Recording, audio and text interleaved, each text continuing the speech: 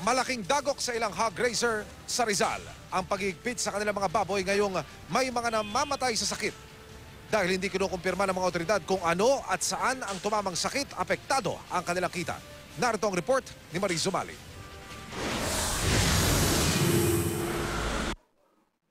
Matagal na ipinundar ni Benjamin Odan Jr. ang aabot sa mahigit tatlong daang alagang baboy. Ang kaso, pati sila, apektado na. Sa ngayon, nagpapatupad na ng quarantine sa mga baboy sa mga hindi pinangalanang lugar. Kada buwan, aabot daw sa 50 mil ang kanya magiging lugi hanggang di tinatanggal ang quarantine sa mga baboy. every 30 days to 35 to 45 days.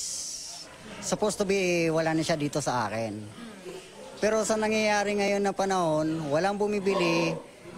Yung mga alaga ko umaabot na ng 60 days.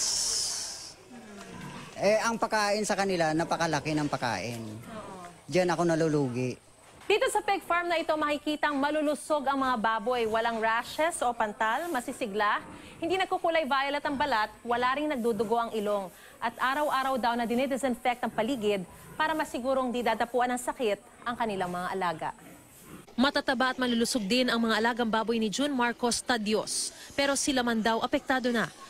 Apelan niya sa Department of Agriculture i-check yung mga baboy namin. Kung- may sakit, willing kaming ibigay sa kanila. At kung walang sakit, sana naman pagbigyan kami magnegosyo. Dapat eh nabebenta na.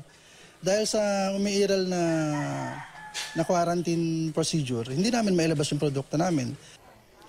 Ang kaso kumalat na sa mga magbababoy ang balitang ipinakukuha na raw ng pamahalaang bayan ng Rodriguez Rizal ang mga alagang baboy may sakit man o wala.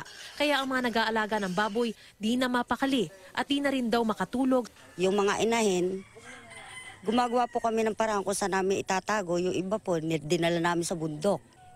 Ako po'y natatakot kasi po, ganun-ganun lang po ba ang paghahakutin yung baboy, eh napakalaki po ng puhunan. Reklamo pa ng ilang mga nag-aalaga ng baboy, bakit di pa pangalanan ng lugar na talagang apektado? Kung mga nagkasakit at kinukuha nila, yung sinasabi doon, na pinagmula ng mga pagkakasakit ng baboy, ay yung pong mga sinasabi nilang pagpag. Kasi po yung mga waste po yun sa mga restaurant, tapos binubumbahan ng lason para sa langaw, yun naman po ang pinapakain sa baboy.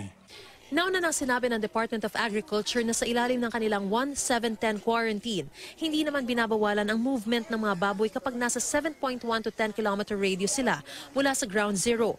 Kung ibabiyahe rin ang mga baboy ay dapat makapagpresenta sila ng Veterinary Health Certificate, Shipping Permit at Meat Inspection Certificate sa mga animal checkpoint para di pigilan.